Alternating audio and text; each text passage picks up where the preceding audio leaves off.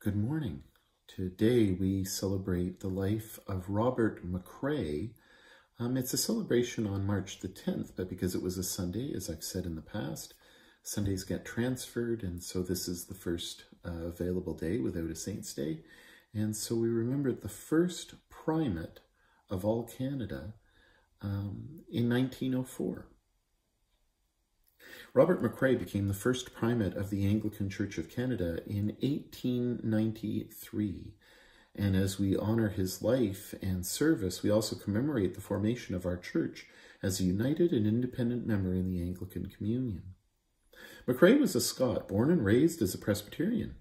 From an early age, he showed great talent as a mathematician, and after studies in the University of his native Aberdeen, he went south on a scholarship to Cambridge University. It was there that he became an Anglican, granted a fellowship, then ordained priest. He seemed to be slated for the career of an academic clergyman, but in 1865, much to his surprise, he was chosen to become the second bishop of Rupert's Land. He arrived at Winnipeg in August of the same year. Machray's diocese included much of the Arctic as well as the Canadian prairies. He set himself two long-range goals. First, to nurture higher education in Manitoba, and second, to divide Rupert's Land into smaller dioceses, uh, diocesan units, which would be better able to serve Anglican settlers and carry out missionary work.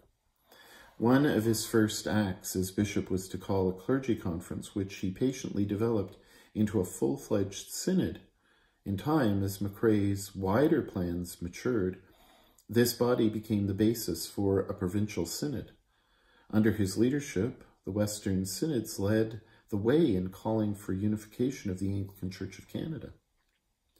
This movement bore fruit in 1893 when the First General Synod of our church met in Toronto. Machray was elected primate at this seminal gathering. He remained private as well, primate as well as Archbishop of Rupert's Land until his death in 1904. Machray was a tireless worker with a genius for organization. It may be no surprise that he liked to relax by solving mathematical problems. But he also possessed a generous heart and was able to work well with a wide variety of people. His vision, integrity, and practical wisdom made him one of the true founders of our church in this nation. The sentence of scripture today comes from 1 Corinthians 3. No one can lay any foundation other than the one that has been laid. That foundation is Jesus Christ. And we pray.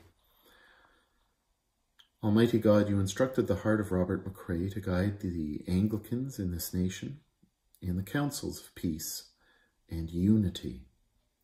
Preserve us in wisdom and lead us in truth that we may build upon the one foundation, which is Christ Jesus our Lord, who is alive and reigns with you in the Holy Spirit, one God, now and forever.